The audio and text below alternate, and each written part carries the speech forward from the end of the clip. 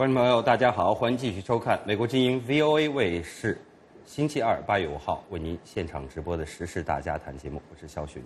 各位观众、听众朋友们，大家好，我是吴欣欣。今天的节目中，我们要讨论两个话题。根据中国媒体透露，最近因贪腐落马的周永康的许多违纪行为，不仅和他当年在政法委、四川省公安和石油系统当领导时有关，而且还包括许多裙带关系及其家人的贪腐无度。也就是人民日报为周永康定性的风妻因子行为。中国政坛中一人得道鸡犬升天的现象为何屡禁不止呢？中国有没有可能杜绝裙带腐败呢？今天节目中，我们将邀请评论人士参加相关的话题讨论。另外呢，美国维吉尼亚州的前任州长麦克唐纳夫妇涉贪腐一案呢，近日开庭了。这位前政府高官因为这个涉嫌腐败被。控以十四项联邦重罪，不过他呢涉贪的这个数字只有十六点五万美元。不过呢，麦克唐纳否否认有罪，只是和他的这个感情早已不和的夫人收受了好处。那么麦氏夫妇一案与前中共高官薄熙来夫妇的案例有什么异同之处？在中国反贪打虎正酣之际，这两宗案例在本质上有什么样的差异？节目中我们将进行讨论。另外，我们的观众和听众朋友们呢，可以拨打我们的热线电话参加节目讨论，电话号码是四零零一二零零五五一。您还可以在互联网上观看我们的现场节目直播，网址是 voa chinese 点 com。在正式进入讨论之前，我们先请美国之音的新闻主播安华带大家来关注这个小时重要的国际新闻。安华，好，感谢欣欣，我们来关注新闻。以色列和哈马斯在加沙地带的七十二小时停火在星期二清晨呢开始生效。在这同时，有关各方加紧争取呢就持久结束这场冲突展开谈判。那么，在停火于当地时间上午八点开始生效之前，以色列宣布将从加沙地带撤出全部军队。以色列军方发言人莱纳中校星期二对记者说，军队将重新部署在加沙地带附近的防御阵地。以军方表示，已经摧毁了三十二条哈马斯用来发动越界袭击的地道。以色列撤军是哈马斯提出的关键要求。预计哈马斯谈判代表将在几天内抵达开罗，和埃及以及以色列官员围绕持续停火问题的展开谈判。一名感染了埃博拉病毒的美国传教士乘坐一架医用专机离开利比里亚。南希怀特博尔星期二乘飞机离开蒙罗维亚，预计呢，他将在星期二的晚些时候抵达美国。怀特博尔呢，将在美国东南部亚特兰大市埃默里大学的医院呢接受治疗。另外一名美国医生也在那里接受治疗，他在利比里亚是为患者看病的时候感染了致命的埃博拉病毒。基督教慈善组织撒玛利亚救援会说，肯特布兰特里在离开利比里亚之前注射了一种实验性的药剂。并且接受了一名感染埃博拉病毒后存活的十四岁男孩的输血。在这同时，纽约市一家医院说，正在对一名显现可能为埃博拉病症的男子呢进行化验检测。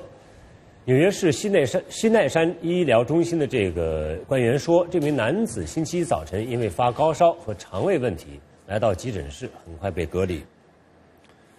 他们说，病人最近呢曾经前去出现了埃博拉疫情的西非国家旅行，现在他正在接受相相关的化验，以决定他的病因。有关这名男子的其他详情还没有透露。日本星期二公布了二零一四年版的防卫白皮书，指出呢，在中国军事威胁之下，日本的安全环境是越发的严峻。新版白皮书还称，修改宪法、解禁集体自卫权具有历史意义。下面我们来看美国之音 VOA 卫视的报道。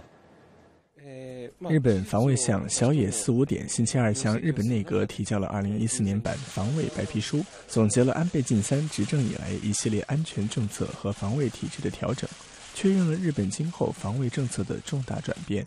该白皮书还对日本所称的中国破坏地区稳定的行为再次发出警告。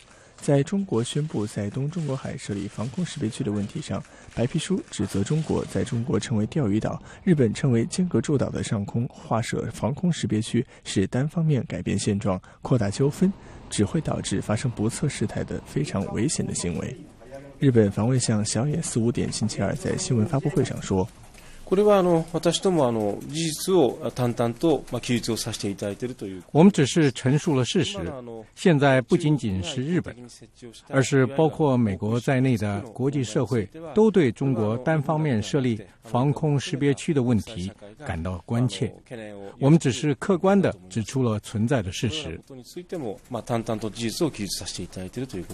白皮书声称， 中国在东中国海和南中国海等空域的军事活动越来越。活跃，然而迅速崛起的中国军力目标不明确，相关决策不够透明。白皮书说，在过去一年中，日本航空自卫队战斗机针对中国军机的紧急升空次数骤增。日本政府上个月初决定改变对宪法的解释，解禁行使集体自卫权。白皮书称，这对进一步巩固和平与安全而言具有重要的历史意义。此外，今年白皮书还强调指出，日本应与其他国家加强防卫交流与合作，主张在日本地区安保合作中发挥主导作用的内容。美国之音 VOA 卫视报道。中国当局上个月底呢，对维族学者伊利哈木·图赫提提起公诉，罪名是分裂国家罪。他的两名代表律师李方平与刘晓元星期二在新疆维吾尔自治区看守所会见了图赫提。那么，据刘晓元律师透露，土赫提目前精神状况良好，并且坚决表示自己一贯反对国家分裂、反对恐怖暴力、反对煽动民族仇恨。作为一名维吾尔族知识分子，关注政治时事、关注社会事件，特别是新疆的问题，发表自己的看法，这是很正常的，和分裂国家无关。那么，中国当局的起诉书指控伊利哈木组织成立了八个人的。分裂国家犯罪集团，并且认定他是首要分子。如果指控被法院所认定，那么他可能会被判处的无期徒刑或者是十年以上的有期徒刑。星期二，孟加拉国救援人员不顾风急浪高，继续寻找渡轮倾覆后的失踪者。孟加拉一艘渡船呢是在帕德马河上倾覆的，船上呢有两百多名乘客。当局星期二说，还有一百多人失踪，担心他们已经死亡。事故发生后，当地居民曾经驾渔船和快艇前去营救，但是被迫返回。渡船是孟加拉国的主要交通工具之一，每年都有几十人死于渡轮事故。帕德马河是孟加拉国的最大河流之一，和一百三十多条河流纵横交错。渡船出事常常是因为缺乏安全规定和超载。同一地区今年五月就发生过帆船事故，大约有五十人死亡。好的，以上呢就是这个小时美国之音 VOA 卫视的国际新闻，感谢收看。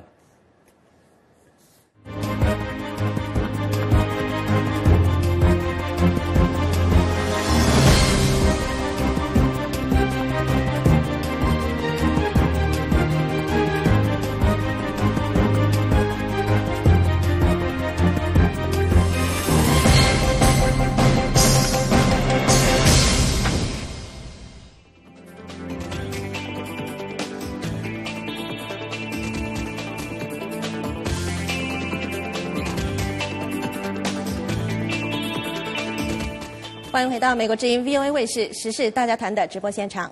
周永康因贪腐落马了。据中国媒体透露，他的许多违纪行为多和他当年在政法委、四川省公安和石油系统当领导时有关，而其诸多的罪行中还包括许多裙带关系及其家人的贪腐无度的行为。这次中共正式宣布动周永康之后，《人民日报》连续三天发表评论，其中八月一号的一篇名为《党纪国法不容违逆》的文章中说。党员干部不仅要以身作则，带头遵纪守法，而且要严格约束亲属和身边工作人员，坚决反对和克服特权思想、特权现象。党内绝不能搞封妻荫子、封建依附的那一套。封妻荫子就是指当官为家人谋福利，一人得道鸡犬升天。在中国政坛中，为何这种现象屡禁不止呢？中国有没有可能杜绝裙带腐败呢？好的，今天这个话题呢，我们邀请到两位来宾来参加我们的节目讨论。一位呢是人在普林斯顿的普林斯顿大学的学者程晓农博士，程博士呢通过视频从新泽西州参加节目讨论。程博士您好，你好。另外一位呢是坐在我们演播室的哈佛大学的社会学博士龚小夏女士，小夏你好，你好，那么好，啊，我们的这个观众和听众的热线已经开通了，请您现在就拨打四零零一二零零五一，一起来参加我们这个话题的讨论。再说一遍，是四零零一二零零五七零五五一。嗯，好，欣欣啊，我们你刚提到这个风气因子封建衣服，那么这个中永康线倒了，现在一下子。除了他以外，他一家子人现在全都推推到了这个前台，嗯，是不是？对，是。那么我们首先呢，想请呃陈博士来给我们分析一下啊。我们看到了，我以前中国俗话说，每一个成功男人的背后都有一个成功女人。现在是每一个落马贪官的背后呢，都有一大堆一个窝案。那么我们首先呢，想请陈博士来给我们分析一下，为什么呃中国会出现这么大规模的这种裙带腐败？它的根源、历史根源究竟在哪里呢？中国的这个裙带腐败的历史根源，可以讲在中国共产党的意识形态里能找到，而且在中国共产党的领导人那儿还有理论根据。所谓意识形态，那就是共产党经常宣传的“打江山坐江山，红色江山代代传”，代代传就是裙带关系，就是按把江山传给下一代。而这个所谓的。理论根据指的就是毛泽东在文革之前提出来的所谓无产阶级革命接班人。这个接班人真真实的含义就是共产党的红色江山必须传给他们的儿辈。所以他们的子女在那个时候还在念中小学的时候，共产党就赋予他们特权了，而且这个特权是加上了革命意识形态的帽子，呃，显得冠冕堂皇。但根子里，它就是中国农民造反打江山的一种这个观念的体现。嗯，那么实际上呢，中国的这个特权腐败并不是改革以后才有，改革之前文革时期就有。文革时期当时有三大特权腐败，其中两大与这个裙带腐败有关。所谓三大，第一个是这个军队大院的子弟不逃避上山下乡，直接通过走后门安排进军队当兵。第二个腐败是通过推荐工农兵学员，相当一部分干部和军队的子弟进入大学。第三个腐败就是军队的高干玩弄女护士和招待所女服务员。那么这三项后来都在现代中国社会得到了充分的延伸。嗯，但是前两项充分体现了中国所谓的裙带关系。到了八十年代，改革刚开始，中国就这个通过。裙带关系开始安排高干子弟，比方讲邓小平安排他的女儿邓蓉，这个直接担任师级干部；陈云安排他儿子陈元，大从一个技术员直接升局级局级干部。那么习近平本人也是大从清华大学出来就直接安排当处级干部。所以这样一些安排本身就体现了中国。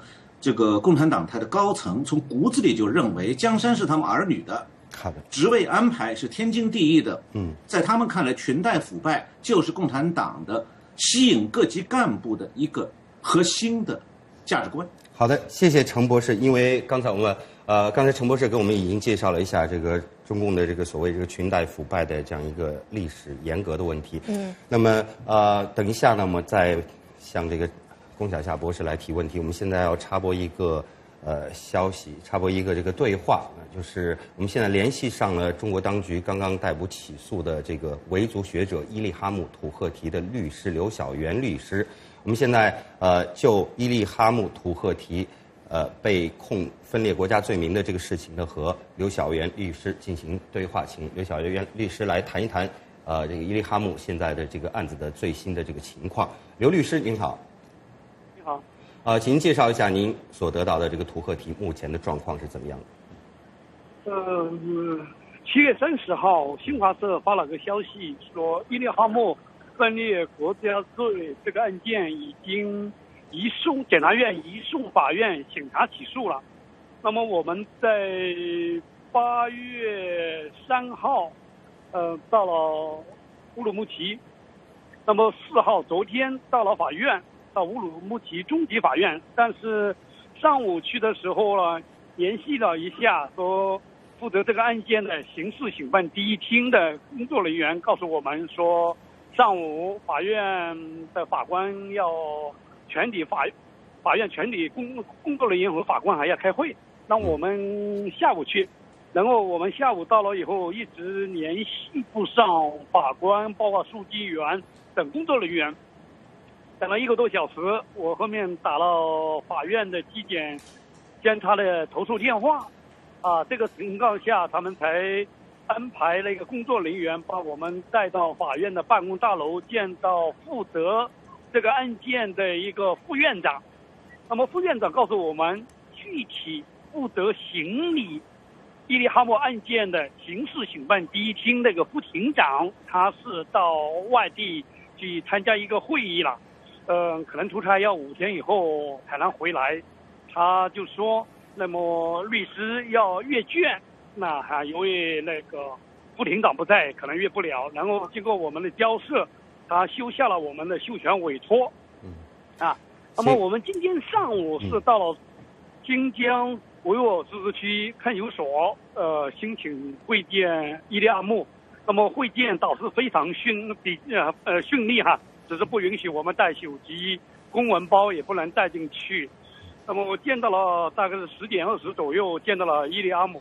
那么伊利阿姆说七月三十号晚上大概七点多钟，法院是给他把那个案件呃的起诉书，因为案件。起诉到检察院，起诉到法院以后，法院就要及时将起诉书送给被告人嘛。呃，他说已经收到了。呃，他对这些指控，他认为特别这些指控是主要是，呃，他原来办了维吾尔在线，还有维吾尔论坛在这个网站，呃上发表了一些文章或者翻译的、转载的，还有自己写的哈。嗯，认为这些文章是有分裂。煽动分裂国家的一些，呃，一些言论，嗯，他认为有些啊文章可能他自己嗯说是有些文章的一些意思，包括他也以及以前接受媒体的采访，呃，认为可能歪曲了他的原意，啊，嗯，他自己始终在会见三个小时嘛，呃，始终呃说他是一贯反对国家分立的。反对暴力，反对民煽动民族仇恨，对吗？他是他认为自己是作为一个知识分子，作为呃，特别是维族的一个高级知识分子，他对社会呃公共事件以及呃政治啊是时事政治的关注啊，发表自己的看法。嗯，呃，他认为这是一个很正常的。当然，特别是他关注新疆的。呃，一些政策方面的一些问题哈。嗯，好，刘律师，嗯，啊，对不起啊，打断您一下，因为我们这是在这个大家谈的时间里面插播这个东西。指控他是七个方面，但主要还是文章方面，他认为是不够呃，没有分离，呃，国家犯罪的主观上故意是没有的，是他自己。好，刘律师，刘律师，打断您一下啊，还有呃两个很快的问题，请您简短的给大家介绍一下。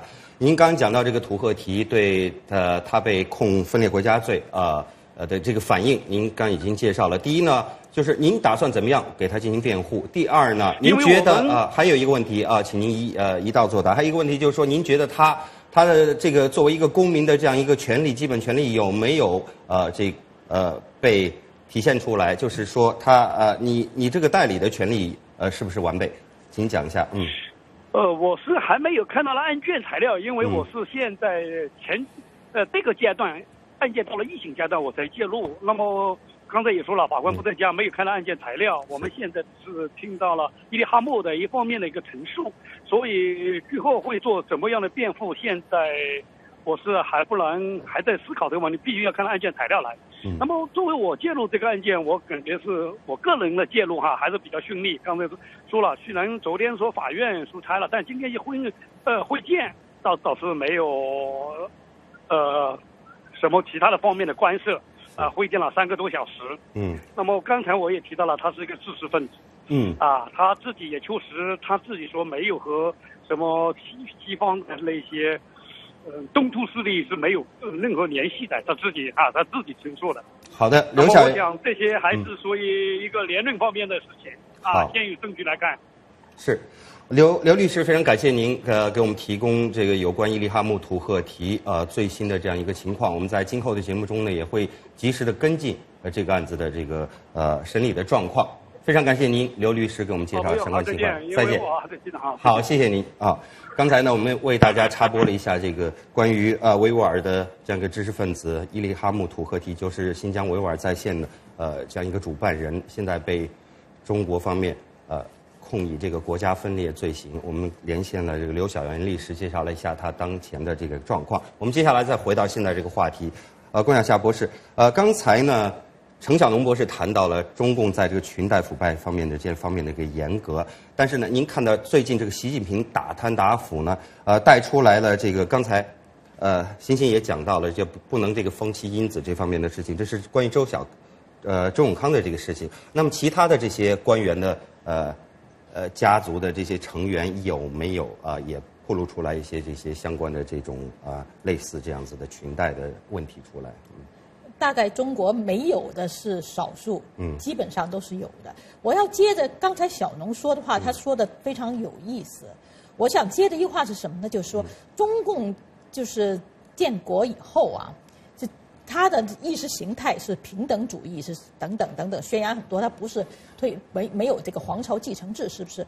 但是你要看看中共在所有那种所谓平等主义的，嗯，这种这种。这这些口号，像比如现在很多人怀念毛的文革，说文革那时候都很平等，文革怎么很平等？文革这种，比如把学校都关了门的时候，最后像工农兵学院这种事情，就完全是由他们个人掌控，而且把他们的孩子都送到大学里去了。嗯，我们也看到，这是这是他们对权，不光是中共的对中共的垄断呢，跟过去的封建王朝比起来，不仅仅是对政治权力的垄断，他们对经济。资源对社会资源，这对心理资源，全部都是垄断了的。所以你看伊利哈木这个情况，他就是完全就是被就是中共垄断，你连说也不能说，连想也不能想。个人的权利都没有办法体现出来。资源全部被垄断。是的，啊，欣欣。嗯。陈博士，我们最近看到，呃，就是在周永康被打之前呢，还有一个就是令计划的家人，令计划的家人也是出现了不少的状况。六月份是令政策他的哥哥，那么七月份呢是他的妹夫王健康被带走调查。那您觉得，呃，包括周永康案，包括令计划的家人，您觉得这是习近平向裙带腐败宣战的一个信号吗？陈博士，我觉得不是。呃，如果要宣战，向裙带腐败宣战，我想。其实从中共的这个文件用语就能开始。我们都知道，中国文件用语里有个很重要的词汇，叫做“享受什么什么级待遇”，就是享受局级待遇、享受军级待遇、享受离休待遇等等。这个“享受”和“待遇”本身就是特权，而“享受”这两个字本身又给出了这个特权的特点，那就是打江山坐江山，然后给你特权。如果是要反裙带腐败，那么首先就从这个特权开始，是不是应该按照共产党宣言，按照共产党的党章把这个否定掉？嗯，当然，习近平不可能做这件事。反裙带最容易一个办法，那就是民主制度，就是在制度上进行反腐败，是吗？对，谈的最多的就还要指出一点，嗯，就是中纪委刚宣布建立网站的时候，王岐山刚上任的时候。我是最早去看了这个网站，当时发现一个很有趣的现象，它没有其他最新文件登出来的时候，登的是一九八五年的一个文件，文件的内容登在这个当时关于反腐败的一批文件的第一条，文件内容是我们现在谈的禁止党政干部的子女经商。但是现在我们再去看看中纪委网站，王岐山同志领导下的这中纪委把这个文件给删掉了。如果说他真要反裙带腐败，那么王岐山同志应该第一，先把这个文件恢复登在网站上；第二，在人民日报重申；第三，全党开始追究这个问题。嗯，这个还牵扯到对，连文件都要把它删掉，不敢登出来，还谈什么反裙带腐败呢？是，嗯，这个还牵扯到，就比如说《纽约时报》登的这个温家宝家族这个事情，实际上这个在中国的内部是一个。禁禁止的这个他不是一个禁止的话题，是吧？如果要真的要反裙带腐败的话，如果他的家族真的有这样的事情的话，应该公开化。您怎么看这事情？我是这么说的，就是你一刀切禁止他们家属经商，如果是一个市场化社会的话呢，这也是就是从法律上说不过来的。但是呢，就是你应该就对这个整个什么能经商，什么能致富，这些资源本身要看得特别紧。比如我就是在美国这边。美国的那个不，咱们就拿国会说吧，不但不但他们的子女可以经商，他们本人也可以经商。但是如果一旦发现你利用任何权利经商的话，这是要受到各种各样这个界限会不会很模糊？界限有时候会有一些模糊，但是总的来说是比较清楚的。比如说，你在这个界限中呢，那的关键是一个监督机制，是不是？你这么做了，但是在一个自真正的自由市场经济里，你是有其他的竞争对手监督的。嗯。那么在中国这个情况下，你说那些从呃军队子弟经商开始，军队他们你像保利公司，你谁有有什么竞争吧？嗯，就美中国这些大公司，你说电信垄断有什么有什么竞争嘛？高干子弟都进去了，他们是靠依靠垄断来呃这个经商来致富的，而真正的市场经济是不应该有垄断这个这种情况的。啊，你讲到这个根本的问题，我们现在有啊有很多这个听众观众已经打电话来想要参与这个讨论，我们接听几位观众、听众或者网友的电话。广东黄先生您好。黄先生，请讲。嗯，哎，我说呢，那个周永康啊，那个和那个清代腐败啊，整个中国都是这样。所以呢，我说呢，那中共啊，那些人呢，那当官的那些头脑啊，全部都是脑残的。啊，如果不是脑残呢，你想象一下，那些几百万、几千亿拿来干什么啊？你如果那是是想到你的小孩啊，你的儿子不是那个小孩，你拿那么多钱给他干啥？吃吃不了，再带不走。好的，谢谢黄先生，嗯，大概清楚您的观点了。接下来听一下安徽王先生电话。王先生您好。喂，你好，哎，你好，谢谢，好。我想发表个意见。嗯。哎，啊，我就说一下，就是讲那个清代腐败是吧？中国历来在世界上腐败是最严重的，就是。不是落后挨打，就是腐败就是挨打。呃，虽然两个老虎谁前后，呃，周永康周永康逮住了，但是还有更大的老虎，打不打还是习看不看习近平有这个胆量？那就是江泽民和李鹏。好，谢谢王先生提出这样一个问题，这个在网上有很多人也讨论，我们就先接这两个电话。呃，请程先生啊，程博士，您谈一下对两个听众或者观众发表这个意见的看法。我觉得关于裙带腐败，中国的民众，特别是这两位听众的发言，很清楚的表明了大家的这个观察。应该讲，瞒不过绝大部分的中国老百姓。所以，现在的问题是，为什么很多老百姓以看戏的心态在看这个这个习近平打大老虎？原因就是他们觉得满山遍野全是老虎，吴淞就一个，而且这吴淞自己和老虎原来也是一家的。对，这个谈到这个 满山遍野都是老虎，我们今天看到人民网上有篇文章讲到这个大老虎们要联手反扑，是不是有这个老虎井喷的这个现象？他提到这一方面的情况。呃，我觉得这个倒不至于，或者是他反扑也不是用这种就是把你拉下台政变的方式反扑，因为中国这个国家的政治状况是跟别人不太一样的。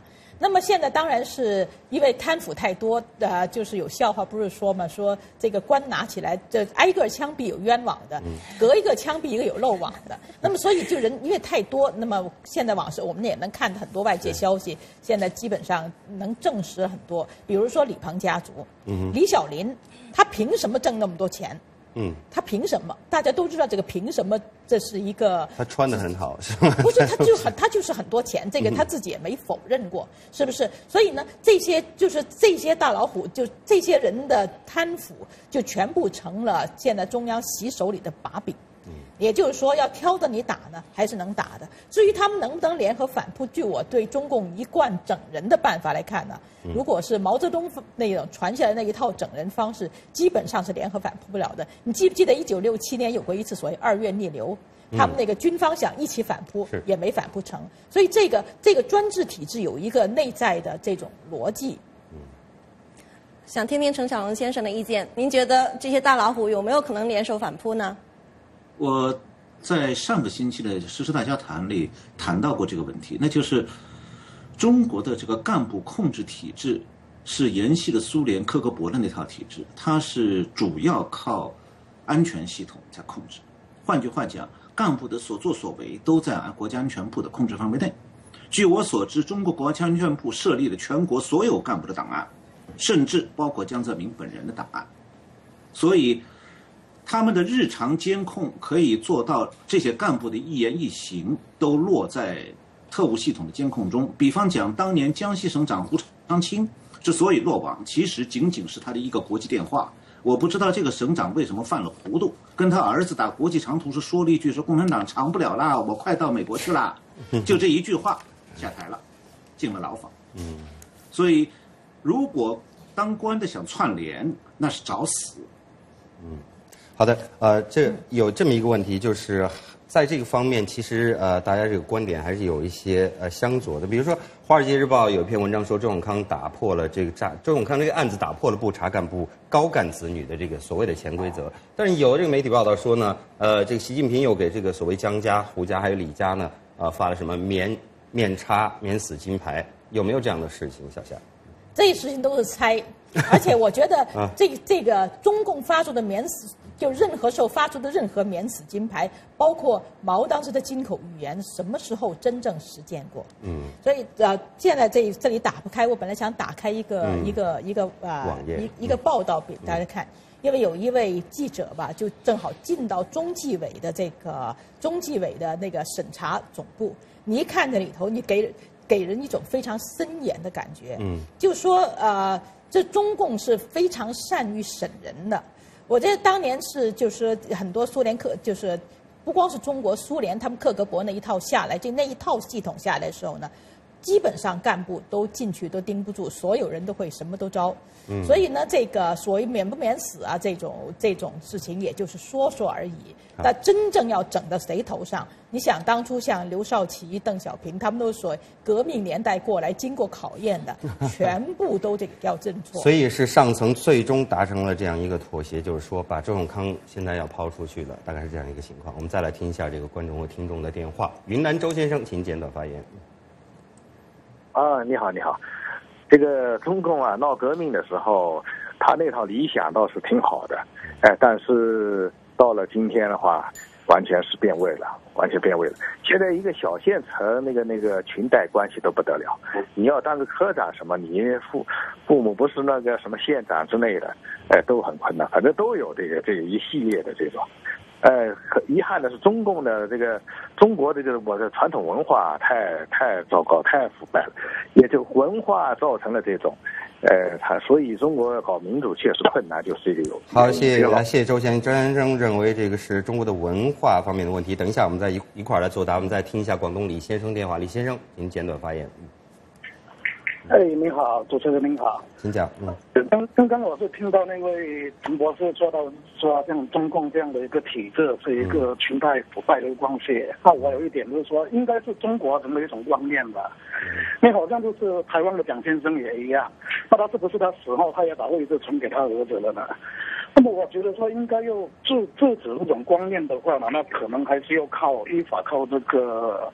真正啊，民主体制这样的来解决这个问题。嗯，广东李先生，谢谢您打啊打电话来发表您的这个看法。程博士，既然刚才呃我们就提到这样一个问题，上个星期我们在讨论的时候啊，其实我们谈到了这个毛岸英的这个事情，呃，这个毛岸英就是说呃，如果要毛岸英不死的话，在呃抗这个朝鲜战争不死的话。毛泽东会不会把这个江山就传给了毛岸英啊？那么现在呢，就是说，呃，刚才陈博士也讲到说，现在就是打江山做江山，革命江山要代代传，要往下传。现在习近平是不是有这样的这个意愿？陈博士，您谈一下，倒不见得是要传给他自己的子嗣，是不是要传给这个红色江江打下红色江山的这些人的后代啊？共产党的革命呢，是造了一群皇帝，而不是一个皇帝，所以在他们看来，这红色家族。红二代，他们是一个群体。所谓的江山代代传，他们不是传在哪一家手里头，那样的话，在红二代里边就摆不平。但是呢，只要不传到红二代以外的人手里，他们觉得就就差不多了。所以实际上，对胡他们对胡锦涛的不满，就是一个主子对奴才的不满，觉得你们不过是我们主子红二代们、红色家族们。找来替我们看家的一个管家，你居然把这家管得稀烂。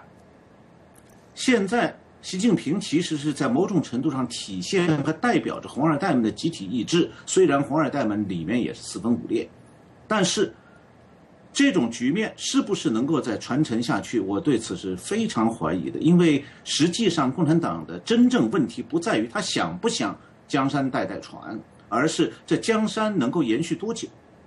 如果江山不在了，他穿什么呢？好，最后我们只有大概三十秒的时间，请小夏给我们做一个总结好吗？我这下其实我要刚回应一下刚才那位先生说的，是中国传统文化的问题。我觉得任何国家传统文化，因为这这个旧的旧的体制下来，它都有这个传给自己本自自己家人的一个传统。实际上，最后后来现代民主政治所克服的，不是是不是有人会愿不愿意传给自己家族，而是我们用什么样的机制来防止这一点。而中共恰恰就是没有这个机制。嗯，好的，我们接下来可能会谈另外话题，跟这个也相关的。嗯，好，时间关系，关于中国政坛裙带腐败的讨论呢，就告一段落了。稍后我们将探讨的话题是薄熙来案和麦克唐纳案是否都是夫人惹的祸？欢迎您继续锁定收看。美国之音电视、广播、网络三期报道，现在更添加了快捷免费的手机应用平台。你可以及时了解突发新闻，还能将你自己的视频、图片和音频与我们的记者分享。新应用适用于各类手机和平板电脑、苹果系统以及安卓应用。赶快来下载免费的 BOA 新闻应用程序。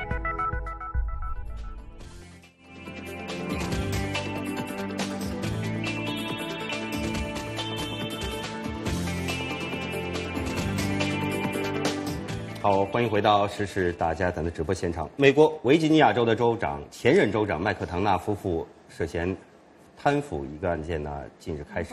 这位前政府高官因为涉嫌以州长的职权帮助他从商的私人朋友推销营养保健品，而被控收受现金、衣物以及免费旅游等共计价值十六点五万美元的好处。他被控以十四项联邦重罪。麦克唐纳呢否认有罪，指。这是和他感情早已不和的夫人收受了好处。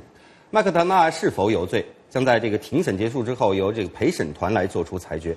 但是麦氏夫妇的一案呢，令人不禁的想到去年落马的前中共高官薄熙来夫妇的这个案件。那个案件也曾经有这个夫妇罪责切割的成分在其中。那在这位曾经有希望进驻白宫的政坛新星被置于。美国媒体的放大镜之下，接受美国公众的检视和评论之际呢，我们在回顾一年前发生的在中国的这个博古案，从这两个看似好像都是霍启夫人的案例，有什么样的异同？在中国反贪打虎正酣之际，这两宗案例在本质上又有什么样的差异？参加这个话题讨论的嘉宾呢，仍然是龚小夏博士和陈小农博士。我们的热线仍然开通，请您拨打四零零一二零零五五一，一起来参加话题讨论。嗯，小夏，我们知道您跟麦克唐纳有有私交、有私人关系啊，您认识他很多年了，对吗？呃，认识他呃五六年了，五六年。您能不能跟我们谈一下这个案件，在您看来有什么样的看点呢？这个案件的看点其实。现在最关键，法庭的庭审，也就是夫妇之间切割。嗯。那么实际上，整个案子这十六点五万美元，也就是咱们就说一百万人民币吧。嗯。在中国听众比较清楚，这一百万人民币呢，基本上是从他夫人手里收受的。他本人有做过什么事情？那他本人就试开过那位有钱人的。这个法拉利车开了一下跑车，好像还有打高尔夫球什么的。打高尔夫球，打了一次高尔夫，就一次高尔夫球之后呢，啊，他的他的一块手表，对他成了表叔了，好像。他成了表叔，他那块手表是他的夫人让那位就是呃，就那个人叫叫呃，Johnny Williams，叫他呢买了买了之后作为礼物，那圣诞礼物送给她的丈夫的。现在案件里有几个看点是很有意思呢。第一是，呃，在第一天庭第一天这个开庭审审讯的时候呢，审判的时候呢，这个呃麦克唐纳的律师就说，他说这两夫妇在办公已经好些年是双方相双方基本都不怎么说话了。这个情况我倒真也亲眼见过，两夫妇就之间每天在哪做什么事情。当众的时候都是很亲热，但是一到比较小的私人场合，那确实是两夫妇之间看来没有什么沟通，这是我自己能看到。他的这个家里的背景，好像听您讲过，是家境并不是很好。呃，我就是我有有点感慨，就是穷人当官，这中国也是大家有这个，我们现在接触很多高很多高官都是穷人贪嘛。他本人一向是比较穷的，家庭也是中下层中产阶级出身呢。然后他上学上了一个很差的学校，法学院律师也都是一直挣的钱非常少。呃，直到二零零五年，他这个当了州的检总检察长，才挣到十七万。之后以前从来没有挣过超过十万。他的夫人没有工作，原来是个原来是个餐馆的呃那个女服务生。嗯。结果他结了婚，二十多岁出头结了婚之后生了五个孩子，所以家庭负担是非常重的。这是他本人的背景。这并不是说他有有这个道理能够拿别人的钱。现在问题就是说他有没有拿，他知不知道？所以目前庭审的状态是他的律师就他他的律师揭发出来好多就是。这个呃，揭发他的人这个 Johnny Williams，这呃检方的证人和他夫人之间的有点看外人看着很暧昧的关系，包括他们一天几十个这个短信啊，中间提到一些就是不好在工厂公共场合说的事儿啊，这让我们想到古开来和王立军，对吗？这里边有很多相似的东西。那么，那我们接下来我们请程博士您来谈一下那个去年的那个案子。呃，我我在想啊，嗯，古开来王立呃这个薄熙来这个案子和美国这个前弗吉尼亚州长麦克 n 纳的案子的，确实有很多相似、相似和可以对比的地方。首先呢，呃，我们刚才小夏已经介绍到，美国这位前州长是平民家庭出身，以前很穷。呃，咱们那位博博这个有人把他叫博都。他是高干家庭出身，本来据说是无产阶级革命的接班人，应该很穷的，但是人家家财万贯。所以，首先，在中国看来，这个革命接班人本来是应该很这个很廉洁的，但是呢，在中国他是这个家财万贯。其实中国大部分被称为接班人的人，多数都是家财万贯的。嗯，但是美国的所谓资产阶级政客都穷得叮当响。第二点，呃，双方都是这个丈夫做官，然后妻子呢似乎是拿到点什么东西。但是我们看一看这个现在在法庭审判的前维维吉尼亚的州长，他涉案的是十六多万美元。在中国，这点钱实在是一个科长都不够不够审判或者是不够追究的，中纪委根本不会办案，因为。我们都知道，中国纪委系统有一个潜规则，就是纪委罚没的贪污款项有百分之二十归纪委干部私分，所以纪委干部办案首先是捡大的办，小案子他们不过问，因为没油水，分不着钱。所以按照中国的标准，美国这位维吉维州的州长，这个是不会被查的，原因非常简单，贪污数额太小了，小的不值得追究。第三。这个薄熙来先生是中共产党员，是大据说是大公无私，全心全意为人民服务的。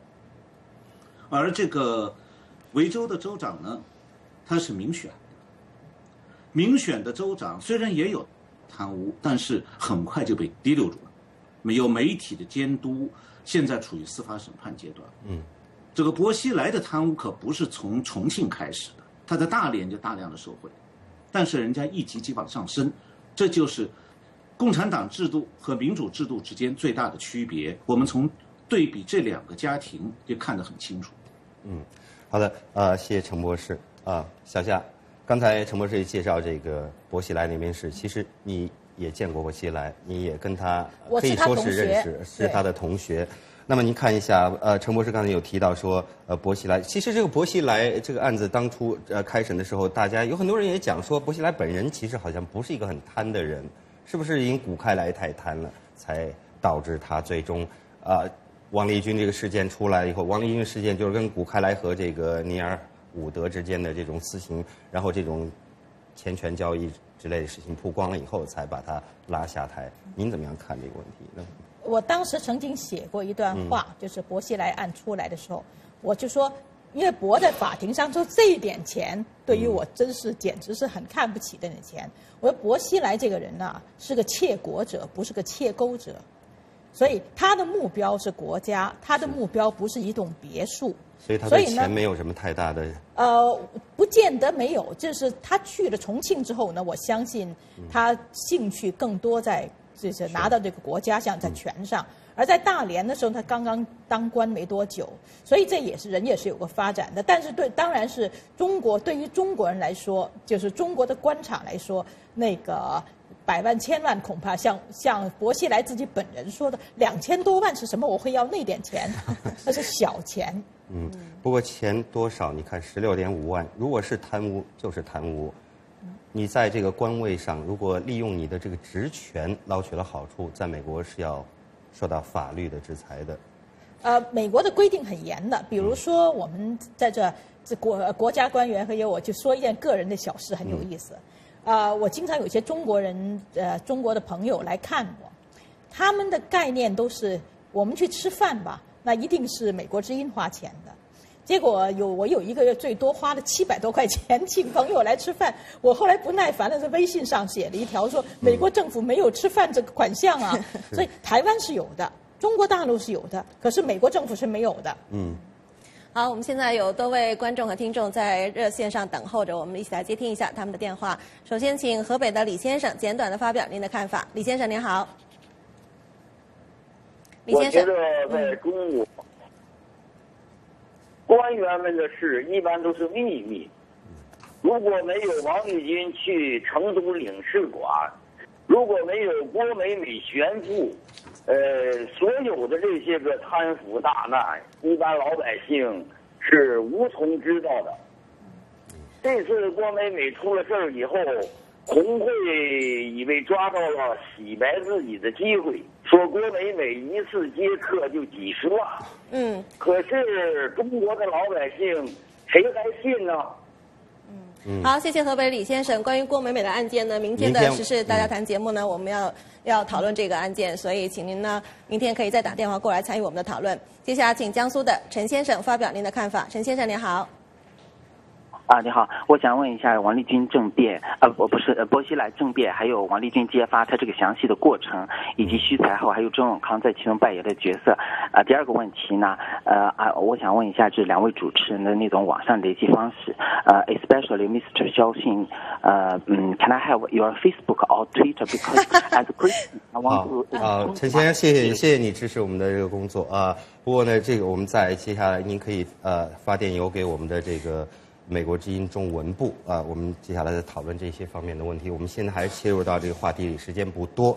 呃，我想问一下这个程先生啊，程先生，呃，关于这个博王的这个所谓政变不政变这个事情呢，呃，我要跟陈先生讲一下，这个江苏陈先生讲一下，您可以看一下过往的美国之音的这个报道，非常详尽的报道，您在那里可以有呃详尽的了解。我们在这里就不花时间专门去说它了。关于这个中国官场利益的这个郭美美这个事情什么之类的，郭美美明天话题我们会要谈。但是有一点呢，是不是说，呃，夫人恰巧虽然说是惹了祸，但是呢，偏偏呢是因为这个古开来这个事情出来了以后，王立军夜奔的这个事情出来了以后，才把这个薄熙来是抖出来，然后才以至于中国的官场的这个地震现在闹得这么大啊。程博士，您怎么样看？我觉得可能这个事事情的真实逻辑和现在社这个社会上大家想的相反，就是王立军夜奔，还有这古开来被揭发，这些事情很可能是运作的结果。换句话讲，是打博的决策在先，然后策动王立军夜奔。因为从王立军当时夜奔的前后背景来看，是有人指使保护他这样做的。目的就是通过打王立军，来打薄熙来，就是为制造打击薄熙来制造借口。嗯，好，谢谢陈先生。呃，小夏，我们看到最近呃麦克唐纳的这个这个案件呢，最后要在星期四要判决，就是后天。那我们看到最近美国媒体是。长篇累牍的在报道这个事情，很多很多细节都被挖掘出来。那您可不可以给我们分析一下，就是在博案上跟麦克唐纳案件上，中国的媒体扮演了什么样的一个角？呃，中国和美国的媒体分别扮演了什么样的角色？美国的媒体嘛是有所谓趴分传统的，所以呢，这些所有他们私人生活的这些细节，都挖的真是详详细细的。我有时候很感慨的事情是在美国叫当官不容易，中国现在说官不聊生，美国的官从来就不聊生，是不是？这个当年这个案子怎么揭发出来？是他们家一个厨子跟他太太闹意见，所以才把这些事儿说了出来，这样就开始了整一套的调查。而这个州长的职位就是竞选这么不容易上去。弗吉尼亚州长只能当四年，而当四年呢，他每每年的工资是稍微超过十七万美元，这钱并不多。所以呢，这也是这也是就说呃那个两国不一样。而中国的媒体呢，基本上就是中国的媒体是中国官方指哪打哪，对不对？美国的媒体大概是官方不指哪就打哪，所以这是很不一样的逻辑。嗯，是的。像天元成先生在这方面的观察好吗？好，我觉得，呃，因为媒体在西方是自由媒体是独立的，因此媒体本身的监督就是西方反贪的一个很重要的一个机制和手段。我们从这个麦克当娜这个案件能看得出来，呃，他现在司法审判是从法律层面对他最后做出裁决，他是否？真的面临这个贪污的起诉，但是，呃，不是，是最后面临贪污的这个裁决，但是媒体的对他的监督本身产生的效果是，他对其他所有的官员起到警戒作用。嗯，那么反过来，为什么中国的媒体不能起这个作用？原因也很简单，党不能让他发挥监督作用，党必须让他发挥的是喉舌作用，这就是为什么中国贪污。裙带腐败等等，这个蔓延了几十年，从上个世纪到这个世纪，而且越来越厉害。但是，只能靠打老虎这样的运动来应付。原因就是共产党不敢从制度层面让媒体公开的监督，让司法来处理腐败。因为如果是那样的话，呃，恐怕就把共产党整个给审判进去了。是的，我们看到这个周永康这个案子出来了以后，现在媒体群儿啊一一起就起。拥上来就把周永康的这个所有的事情都拿出来说啊，这看似好像是说你现在可以谈周永康的这个问题，但周永康这事情没有正式公布之前呢，这是一个禁区，你是不可以踏入。这是很有意思的，这个中国就是当媒体大胆报一点东西，比如说财新周永康的事情报的很早，嗯，大家第一个猜想就是说，哦，胡舒立跟王岐山很熟，所以这是内线。如果美国的任何一个媒体被人家说是这样的话，这个媒体就要垮掉。其实美国也有这个所谓的 deep throat 深喉的这样一个。内线是有的，但是不是喉舌，对不对？在中国就是大家猜说，哎，胡舒立跟王岐山很熟呢，那么胡舒立是王岐山的喉舌。而在美国呢，你可以说《华盛顿邮报》有内线，这个内线是为媒体服务的，不是媒体为内内线服务的。这里头的关系我们就可以看出来。所以，中国即使有非常大胆的、很，就说很精彩的一些报道吧，但是人民对它的真实含义还是有怀疑的。是的，我们还有补充一点哦，好，谢谢。就是此时此刻，中国的互联网上正在谈一件事儿，跟我们现在谈的话题密切相关，那就是吉林省的一个地级报。这个《白山日报》登了一篇文章，呃，介绍说习近平最近有一个内部讲话，强调说不管他个人毁誉如何，他要把反腐败打到底。然后这篇报道在国内主要这个门户网站全部刊登出来了，但是短短两个小时之内突然被删得干干净净。这件事本身就说明了这个媒体在中国能起什么作用。嗯，好的。好，我们现在呢，热线上还有两位观众在等待，我们来接听一下他们的电话。呃，首先请天津的孙先生简短的发表您的看法，孙先生。哎，你好。嗯，请讲。请讲。好。好。哦，我问你，呃，就是关于那个谁的，那个何其来跟那个周永康的，因为就是当时那个习近平就是十年以前，他是也是跟那个周永康。也是都是政治局的常委，啊，行。天津的孙先生，孙先生那个电话好像断断续续，我们也没有听清楚。大概提到这个博和习十年前的这个是同一个在同一个水准呢。我们先来接听一下浙江浙江的张先生的电话。嗯，张先生，您好。啊，喂，你好。嗯，请您简短发言。对，您已经在我们的节目中了，张先生。哦。呃，好的，我觉得美国的贪腐跟中国的贪腐，它有本质上的区别。嗯。呃，像中国的太子党的话，他们可能根本就没有什么贪腐的概念，因为中国本身就是一个党天下的国家，国家就是他们的。他们之所以会被这样说出来，可能是因为权力斗争的缘故。嗯。好，谢谢。好，谢谢浙江的张先生。小夏，你怎么看张先生的说法？他的说法确实是有道理。这个、这个、这个很多。高干，你问，尤其是红二代，你说他贪污，他根本不觉得自己也不贪污腐化人际关系，这本来就是老子传下来的 这种概念，是你你可以看得非常明白。就现在有意思的一个现象，说很多红二代的就说这个江啊、习啊等等，他们把这不是江和湖啊，他们把中国管得乱七八糟，那么多贪污腐化一定要打，为什么呢？很多贪腐还像周永康这些人，这些人呢本来就是没有。不是红二代，他没有这个传统。那么他们这些人呢，就被认为把国家给管坏了。可是他红二代们自己贪污呢，他确实不在乎，觉得这是我们的东西。这是一种非常非常，你看他们的行为方式上，就是一种非常清楚的概念。嗯，好，那程先生啊，您谈一下。呃，刚才呢，第一位这个听众就是前一位听众孙先生打电话来谈到这个，他话没有讲完，但是我呃，我接着他这个话茬啊，揣测一下他这个问题吧。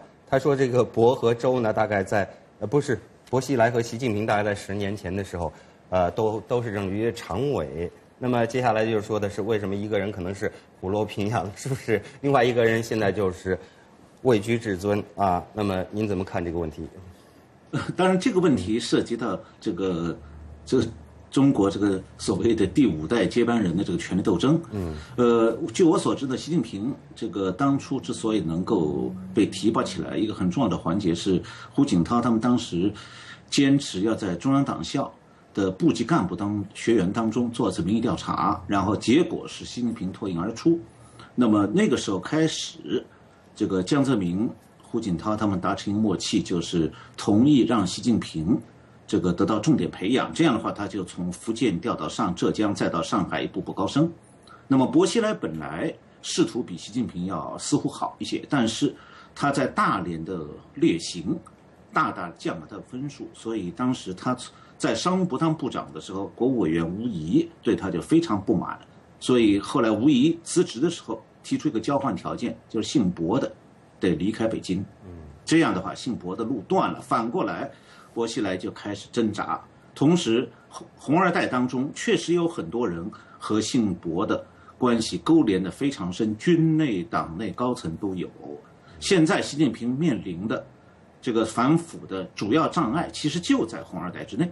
嗯嗯，小夏，最后我想请他给我们呃预测一下，您觉得麦克唐纳这个案件最后会怎么收尾？最后，我想他呃最后就是看。整个十二个陪审团嘛，因为一旦判有罪，那这两夫妇坐牢都要超过十年以上的，这是啊。但是呢，呃，陪审团现在是不是相信他？他这个是个是个男女。关系的问题是一个婚外情的问题，而不是个贪腐的问题。所以看陪审团能不能说明他的律师。您个人的这个 hunch 直觉是怎么样子？我个人直觉觉得他夫人很多事情啊，因为他们两个是案子切割了，恐怕不太容易逃脱的关系。嗯，这个麦克唐纳本人嘛，倒是两可。嗯，好的，嗯。好，时间关系呢，关于中美两国腐败案的讨论呢，我们就告一段落了。感谢普林斯顿大学学者呃程小龙博士和哈佛大学社会学博士龚小夏女士参加今天的节目讨论。以上就是今天 VOA 卫视时事大家谈的全部内容，感谢您的收看。在明天的节目时间中，我们将带您关注郭美美遭官媒起底和新疆问题，欢迎您准时收看。如果您希望对我们即将讨论的话题，提出什么问题或者发表评论的话，您可以到美国之音中文网网站上的卫视留言板留言。您也可以到我们时事大家谈在 Facebook 或者是 Twitter 的账号上发表您的看法。网址呢分别是 Facebook 点 com 斜线 voaio 和 Twitter 点 com 斜线 voaio。嗯，小主播不公布一下你的 Facebook 的账号吗？不要在你们开玩笑了。好，非常感谢各位听众和观众啊。支持和关心我们的节目，我们希望呢，今天的这个节目又陪伴您度过了一个美好的夜晚。不要忘了，明天的北京时间晚上八点到十点准时锁定 VOA 卫视。我是肖雪，祝您晚安。我是吴欣欣，我们下次节目时间再会。